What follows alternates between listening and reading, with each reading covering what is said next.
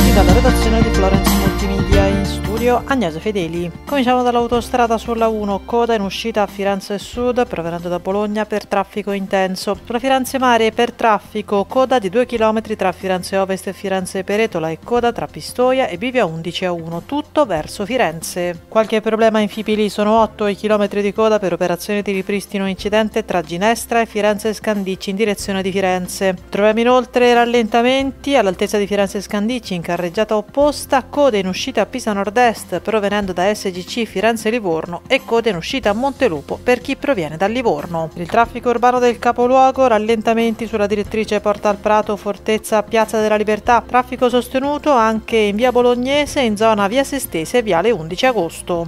Muoversi in Toscana Info è un servizio in collaborazione con Regione Toscana, Città Metropolitana di Firenze e Comune di Firenze. Per ora è tutto, buon viaggio!